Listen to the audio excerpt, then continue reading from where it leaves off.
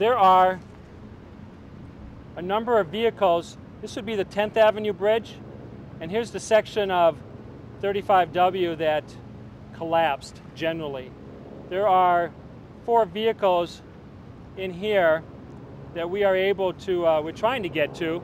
At 1045 this morning when I first met with you about 11, I told you we were venturing out uh, in teams of two and three, putting divers out every 30 minutes and then rotating them. We've had a difficult time trying to reach those vehicles. Difficult time because of the current in the water.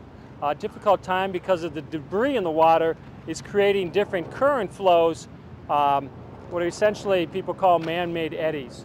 And uh, so we have taken our divers out of the water for a period of time, trying to regroup a little bit and re-strategize how to approach those four uh, vehicles.